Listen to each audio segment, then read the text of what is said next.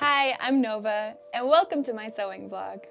I once read that you have to create bad art to get to the good art, which is exactly what today's video is about. It all started with a dream. I saw these two fabrics in the thrift store, and my brain started working about what I could create with it. I wanted to challenge myself this time because I normally make clothes for myself, so I thought I would make a t-shirt for my partner. And since he was out of town and I wanted to not use a conventional or pre-made pattern, I decided to use one of his t-shirts instead to trace my pattern and just go from there. I wanted to do was use my creativity and see where it took me. And it took me places. First I sketched out my idea, then I cut and I sewed, I serged and I pinned, I sewed some more and cuddled some cats. Then I tried it on and on and on see if it would fit until finally I came up with this. So it's definitely a t-shirt. The hems are far from perfect. The neckline just isn't flat. Pocket is too small. The sleeves are too long.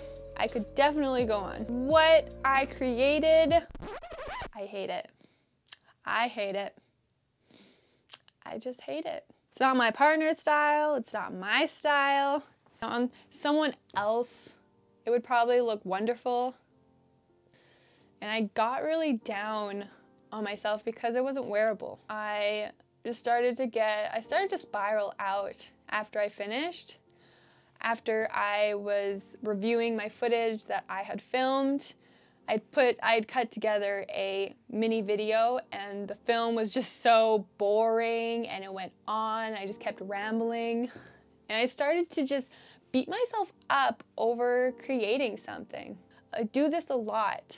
When I approach a challenge, it's like I forget that I'm supposed to be having fun with it. I take it way too seriously and I aim for perfection and then I just don't enjoy it anymore. When I first started filming YouTube, I would get these major blocks. I would get in these negative thought patterns being like, you're stupid, why would you do this? No one's going to watch this. You suck at this. It just went on and on and on until I literally just had to lay out on my kitchen floor. I had to surrender to the voices in my head because they were just so strong. They kept refusing to let me move forward on my goal of becoming a YouTuber or a fashion designer. Like this subconscious belief, if you're into psychology, definitely recommend checking out Subconscious Beliefs. It's really quite fascinating once you start learning about self-improvement. These subconscious beliefs that once kept me safe from my childhood or just in my past, they started showing up and getting in the way of me actually achieving my dreams.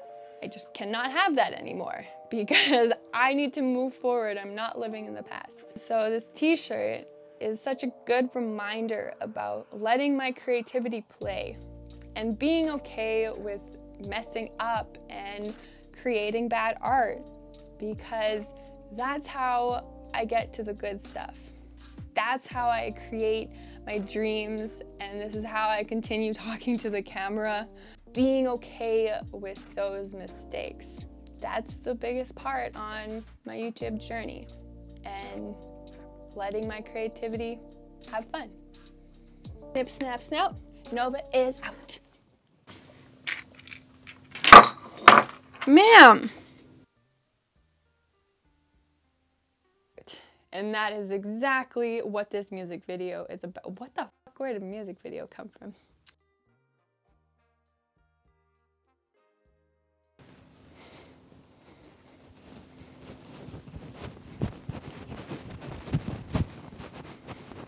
Yeah. Yeah.